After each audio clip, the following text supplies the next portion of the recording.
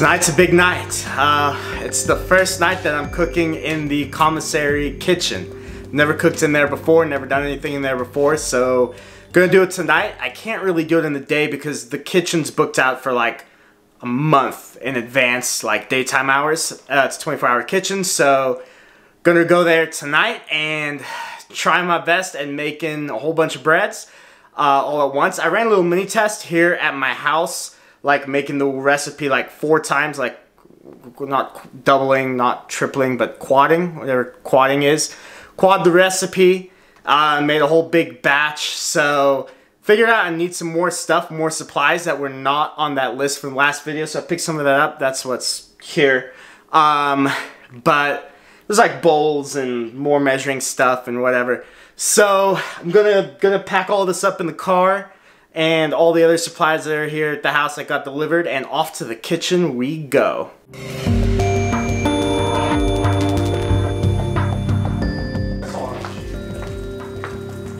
Excuse me, Rose.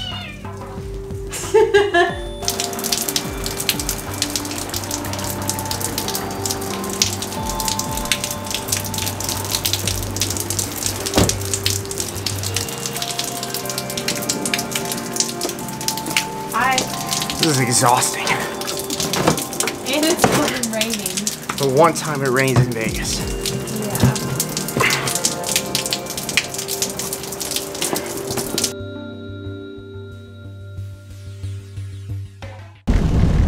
I got all my stuff in the car and I'm now on my way to the commissary kitchen. It's one of the very, very few times that it decides to rain in Las Vegas. Um, I'm not originally from Las Vegas. I moved here a couple years ago and I absolutely love it in Las Vegas. One of the things I love is the weather. I mean, it's almost December and I was walking around this afternoon in flip flops and a t shirt, but that sun went down, the rain picked up, and it's a little chillier and a little bit more miserable, um, which didn't help when it came to putting all the supplies into the car. It was a bit of a process to get everything in here, an annoying process, but it's in. It's quite a bit of stuff. I did, like I said earlier, I did pick up couple more supplies. I got those through Restaurant Depot and ordered just a few more things off of Amazon. So my plan at the kitchen, I think, is pretty straight ahead. I really just want to try to quad up my recipe, do my recipe four times, like whatever I said earlier, and just try to make bunch of breads and see how it goes in the kitchen.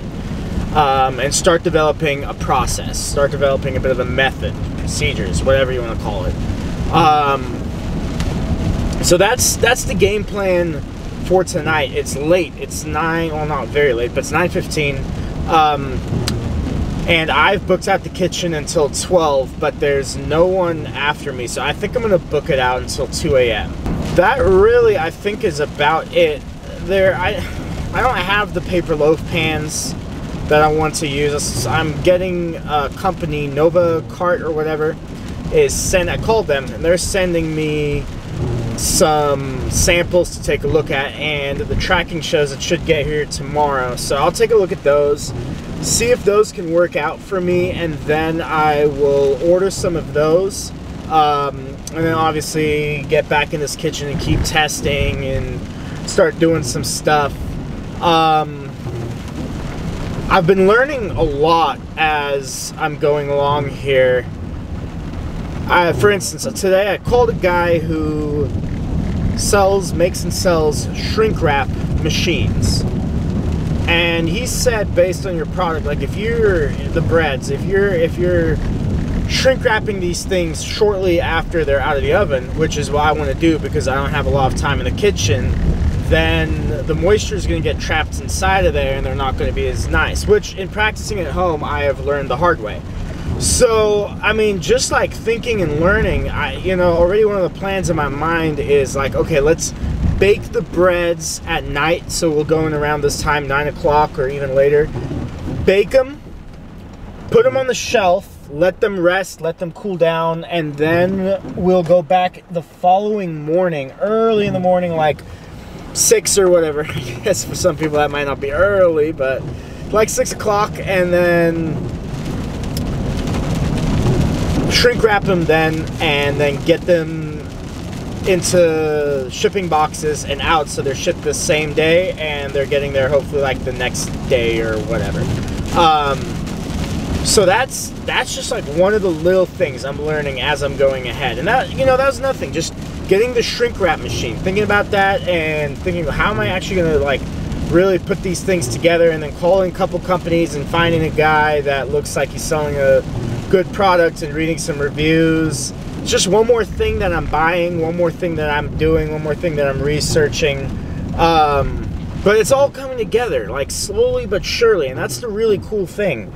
Is every time you know I finish one of these phone calls or something, I don't really feel it in the moment. I don't really feel like oh I've accomplished another thing. But you know as I'm looking back a little bit on the big picture, you kind of do see okay progress is being made. You just gotta stick with it and stick with the the whole thing of doing this. Uh, so that's it. That's really my my plan for the evening. Um, that's all my big updates I think for now. So wish me luck.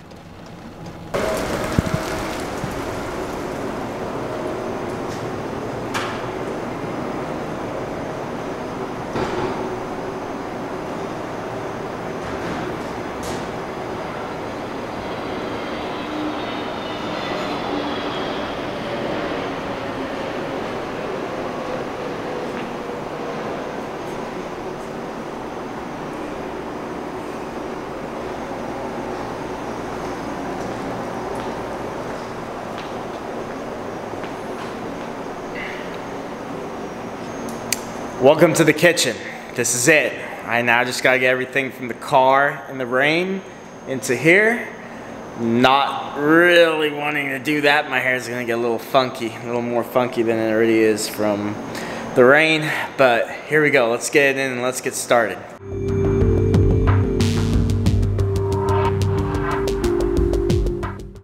Okay, step one here is to get the trash can set up and get all this stuff organized, packed away. Then we're gonna get the chef's coat on, get all the ingredients into containers, bought the ingredients yesterday at Restaurant Depot, and then get going.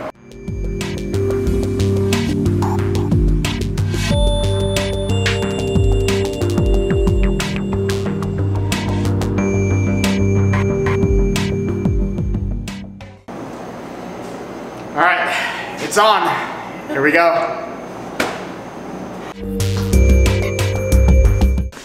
Okay, setting up the three-part sink. I've never done this before, but I've only watched videos to figure out how to do this, and Miranda has an idea on how it's supposed to be idea? done. She did, you did it at, um... I worked at a fast food place. Experience. So now we're gonna set this guy up.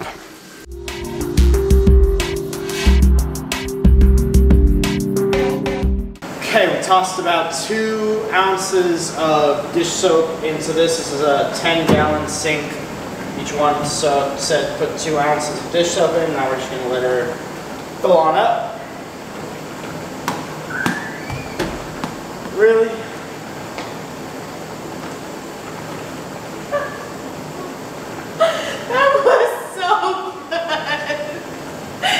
The battery died while that was filming. I should probably get another battery at some point. Anyway, um, I started washing everything. I'll show you what I've done here. Uh, my sanitizer is a quat sanitizer, so I put it in there, measured the proper ratios and got it in there. I gotta rinse that spoon. So here's my dish soap and then the rinse station, use this to rinse, and then sanitize. And I'm gonna grab this stuff out here in just a second. Um, I don't have, you can see my little drying space is really small, so I started to use all of this as dry space. These are all the bowls for everything. I've got a lot of bowls. Um, kind of had to buy packets. So, I mean, that was the best bang for your buck. Still have this stuff to wash. Here's the sanitizer.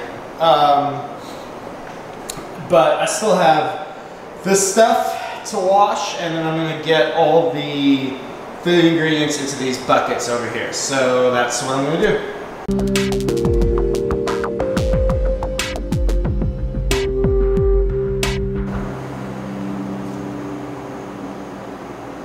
Well, that sucked. uh, that was a lot of dishes to do by myself. You can see them all here behind me to wash and then rinse and sanitize.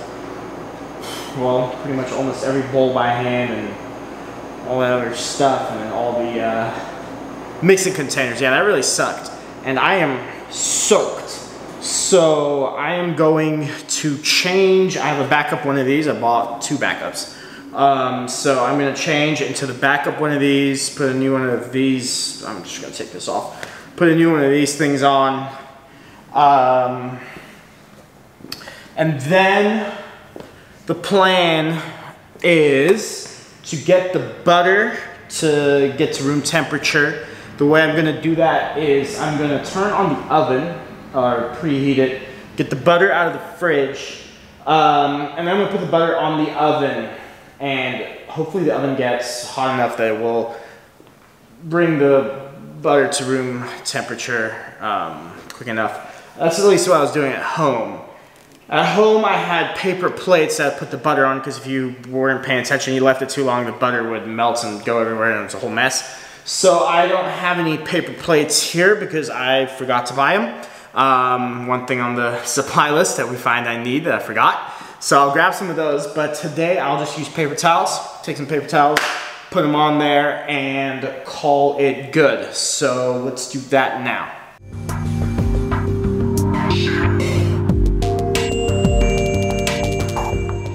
New cuts on, I'm ready to go. There's my Chick-fil-A salad for lunch which will be at like 2 a.m. Here's the butter. Let's get it out and get it on the oven. Okay, here's the butter. Uh, this is the butter that I bought at Restaurant Depot. This whole thing of butter, 30 pounds of it, cost like 80 bucks for the butter. Um, so yeah, this is kind of what it looks like when you buy something from Restaurant Depot. It's just a big bulk box.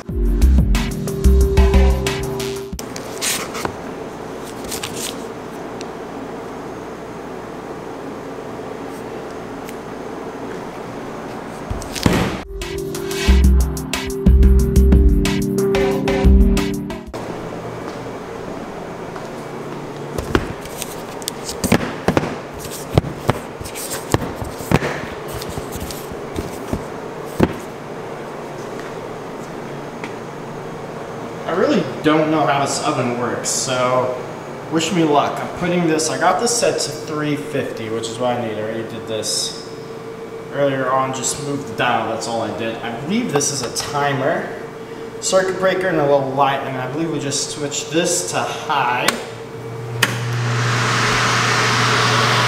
Unfortunately, the oven is not getting very hot on top. It's pretty cold. Uh, move the butters a little further back because the oven's a little a little warmer back there. Um, so while we're still hoping for those things to warm up, next thing to do is get all the ingredients into these buckets here behind me.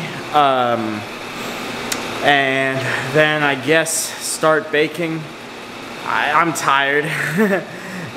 This is taking a lot longer than I thought it was to take. I've now booked the kitchen until 4 a.m. It's already 1.15 in the morning and I haven't even started baking yet. So onwards and upwards, I guess. Let's, uh, let's get to this.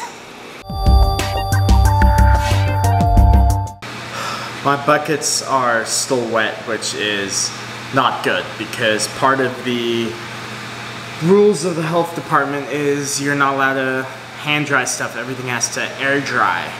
um, which I'm learning takes really long. So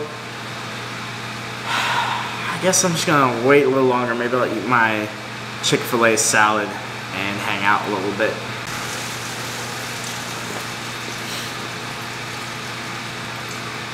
I ate my salad and every one of the buckets behind me has dried up, so I'm gonna now get all the food and put it in there, ingredients and put it in there.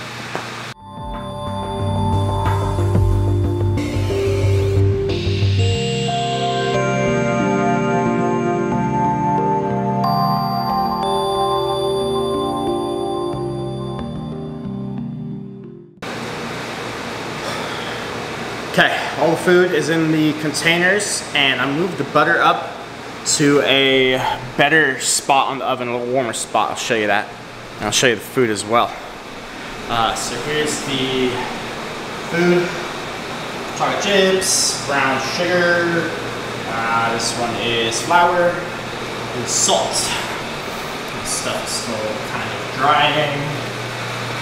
And these ones are warming up. Ooh, see, this is what the problem I'm talking about. See how that is uh, leaking out there? So let's just stop that immediately. And let's get the rest of them. Yeah, we got another, another one leaking here. Oh, that's the problem. That's why we need paper plates. Oh gosh, this one's, okay. I'm gonna have to deal with this.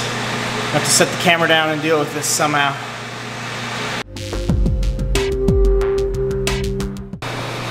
That was a little whoopsies. Um, so yeah, we got it cleaned up though. It's fine. Um, gonna leave those other two on there. They're in a cool spot on the oven. I don't think they're. I better just check, make sure. Uh, I think yeah, these ones are in a cold spot. These are fine. Okay. Now the plan. The plan is to start baking. Now we got everything in the um, in the supply things. It's now time to start baking. So can't share the can't share the secret recipe, but I will set up the camera and just uh, kind of I don't know do a little montage of me baking.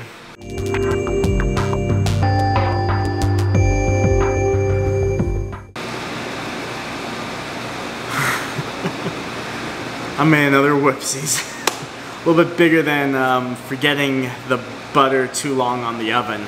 I didn't bring any loaf pans with me. So last I checked, you need those to cook banana bread.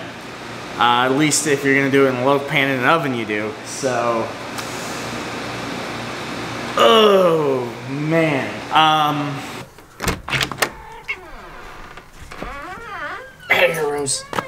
No, Rose. Rose, back up. Back, back, back, back, back.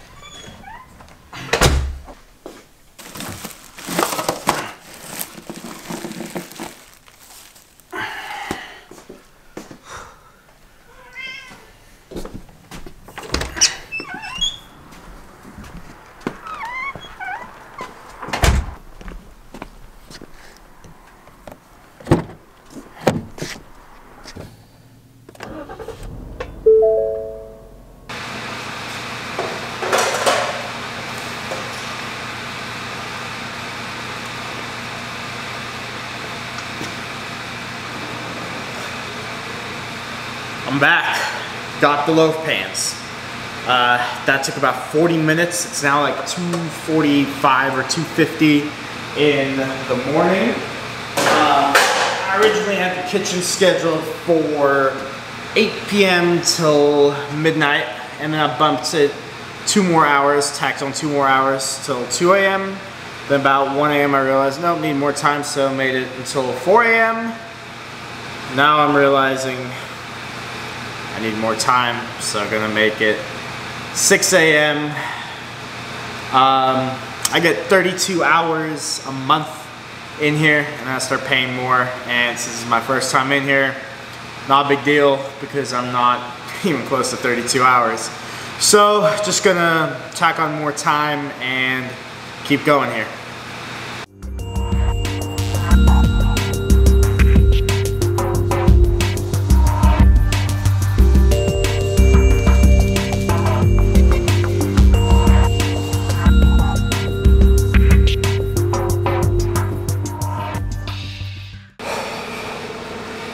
Finally got the breads in the oven. I am exhausted. It is 6.20 in the morning. The breads have another hour, 10 minutes to cook. Oh gosh, this is what I, can't really, this doesn't do it justice, but I'm drenched now in sweat. Uh, feeling gross. I mean, I'm covered in goop and whatever. The mess that I've made here is incredible. Um, next people are getting here at 7. So I have to clean all of this up and get out of here by 7. Clearly, if I'm an hour, 10 minutes left of breads to cook, that's not going to be the case. So I'm going to have to ask them if they'll let me um, hang out a little longer and you know, I'll clean everything up and whatever and then I'm just gonna ask if I can hang out until the breads are done. Uh, I'm ready for bed. This, if I'm doing this as a one-man show, which I am planning to do as I start this, this is gonna be tough. Uh, but, you know, I had fun. I mean, I guess I've been here like nine hours, um, and uh, my bedtime is usually like 11, 11.30, so I'm, uh, I just want to finish up and go to bed. So that's what I'm gonna do. I'm gonna clean up and get out of here. It's now like 7.25 and I'm still here. The people who are supposed to be here at 7 are not here. I don't know where they are, but they're not here. I cleaned everything up and while cleaning, I smelled something that smelled a little uh, strange. So 55 minutes into the bread's cooking of the hour 20 minutes that they needed to cook.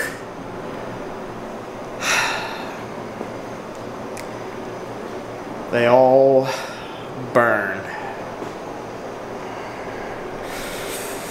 I burned every single one.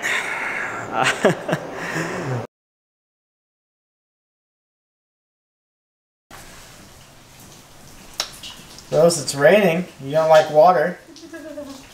You're still gonna try to go out there? Go out there, Rose. It's raining and you don't like water. Go.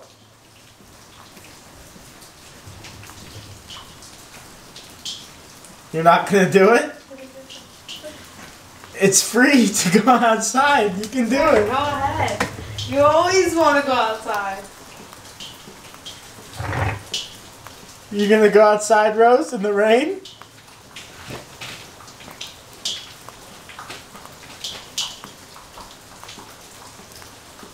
Rose? you don't like the rain? Go, Rose. she oh went out because the rain doesn't stop.